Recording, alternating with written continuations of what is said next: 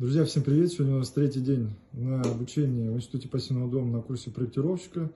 Сегодня у нас э, была тема окон. Продолжаем наш видеодневник. Александр сегодня рассказывает про то, что такое настоящее энергоэффективное окно. Не обязательно там пассивное. Принцип, он должен быть у всех окон одинаковый. Александр, что такое качественное, хорошее окно? Значит, вот здесь подборка из более-менее хороших окон. Есть с сертификатом пассивного дома, есть попроще. Значит, первое, на что обращаем, это характеристики рамы. Рама это у нас... Вот она, непрозрачный элемент окна. Да, то есть, ну, в данном случае с, с, с открывающейся, может быть глухой вариант, может быть с, от, с открыванием. Значит, ну, начнем с самого такого более-менее крутого. Это Гинео сертификатом пассивного дома. Рихау Гинео PHZ. Значит, здесь не, не чистый ПВХ, а с фиброволокнами, поэтому до определенных размеров можно отказаться от армирования и заполнить эти пространства теплоизоляционными вкладышами. Три контура уплотнения. Вот они, три контура уплотнения. Причем уплотнители все хорошие, тем более средний, очень качественный. Замыкание уплотнителей всех с проклейкой.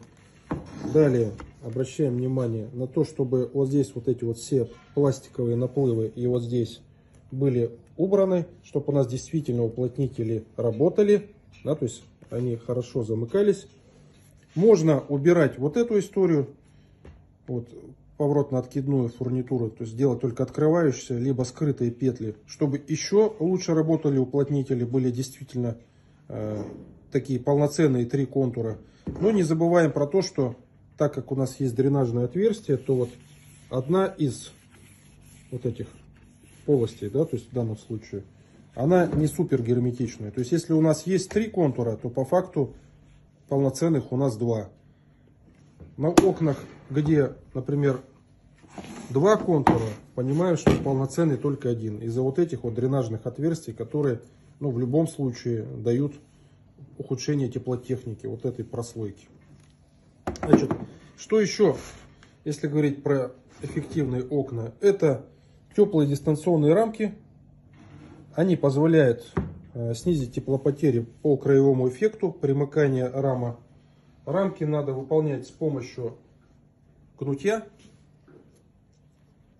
то есть не стыковка, как стандартная, а именно методом гнутья. Стыковка всегда плохо, потому что у нас вот здесь с точки зрения разгерметизации слабый узел, низ фольги на рамке, соответственно, будет повышенный риск разгерметизации. Здесь в углах никаких проблем нет, и стыковка у нас идет где-то сбоку, да, то есть, ну, то никак есть не отходим немножко. Да. Угу.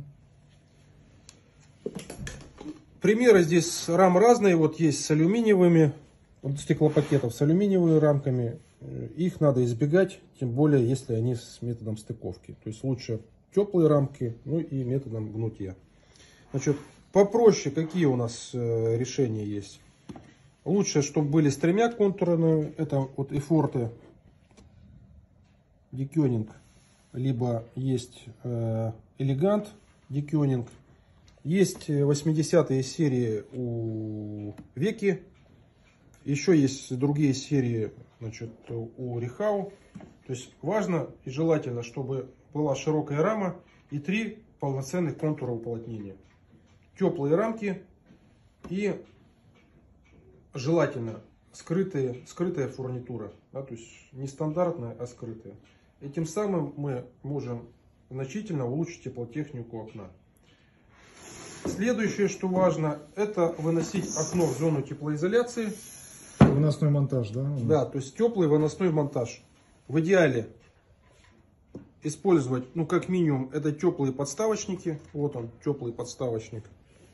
Благодаря вот этому подставочнику, часто вот здесь вот эта теплотехника лучше, чем у рамы. Причем ну, значительно лучше. То есть здесь ничего не промерзает, снаружи отлив подходит, изнутри подоконник у нас очень теплый узел. Стандартный узел с э, вот этим холодным подставочником, который, который вечно сломан, всегда плохой, промерзает, надо там что-то пропенивать, что-то делать. То есть он и не герметичный, и, соответственно, холодный.